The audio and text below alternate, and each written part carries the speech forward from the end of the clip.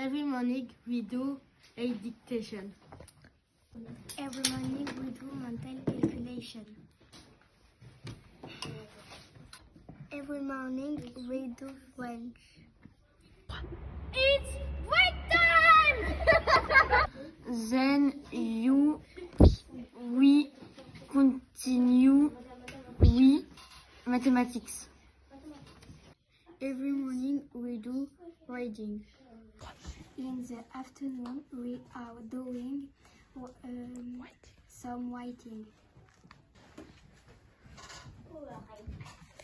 We are doing some history. In the afternoon, we done geography. In the afternoon we are doing some The afternoon. We doing physical education. Mm-hmm.